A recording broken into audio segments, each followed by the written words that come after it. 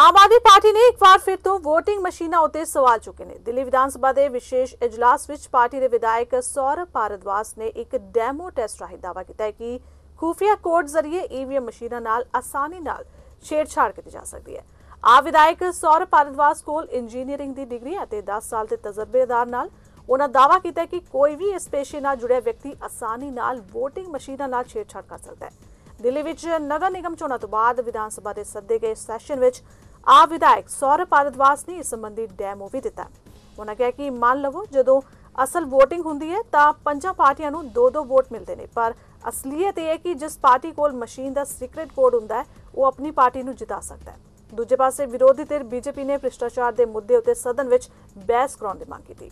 ਇਸ ਨੂੰ ਲੈ ਕੇ ਬੀਜੇਪੀ ਵੱਲੋਂ ਹੰਗਾਮਾ ਜਾਰੀ ਰਿਹਾ। ਸਪੀਕਰ ਨੇ ਮਾਰਸ਼ਲਾਂ ਨੂੰ ਆਦੇਸ਼ ਦੇ ਕੇ ਜ਼ਬਰਦਸਤੀ ਬੀਜੇਪੀ ਦੇ ਵਿਰੋਧੀ ਧਿਰ ਦੇ ਆਗੂ ਵਿਜੇਂਦਰ ਗੁਪਤਾ ਨੂੰ ਹਾਊਸ ਤੋਂ ਬਾਹਰ ਕੀਤਾ।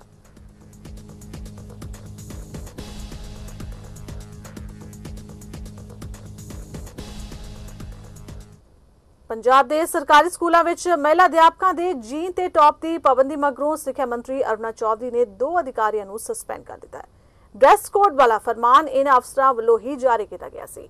ਮੀਡੀਆ ਵਿੱਚ ਇਹ ਮਾਮਲਾ ਆਉਣ ਮਗਰੋਂ ਸਿੱਖਿਆ ਮੰਤਰੀ ਅਰੁਣਾ ਚੌਧਰੀ ਨੇ ਵਿਭਾਗ ਦੇ ਡਿਪਟੀ ਡਾਇਰੈਕਟਰ ਅੰਬਰੀਸ਼ ਸ਼ੁਕਲਾ ਤੇ ਸਹਾਇਕ ਡਾਇਰੈਕਟਰ ਅਮਰਬੀਰ ਸਿੰਘ ਨੂੰ ਸਸਪੈਂਡ ਕਰ ਦਿੱਤਾ।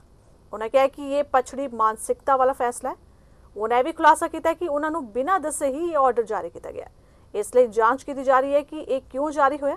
ਸਿੱਖਿਆ ਮੰਤਰੀ ਨੇ ਕਿਹਾ ਕਿ ਕੁੜੀਆਂ ਨੂੰ ਅੱਗੇ ਵਧਾਉਣਾ ਜ਼ਰੂਰੀ ਹੈ, ਕੱਪੜਿਆਂ ਬਾਰੇ ਮਾਨਸਿਕਤਾ ਬਦਲਣ ਦੀ ਲੋੜ ਹੈ। ਔਰਤਾਂ ਤਰੱਕੀ ਕਰ ਰਹੀਆਂ ਨੇ।